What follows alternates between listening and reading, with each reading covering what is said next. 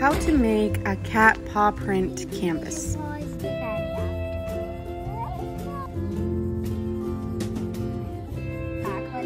This is probably the world's most patient kitten.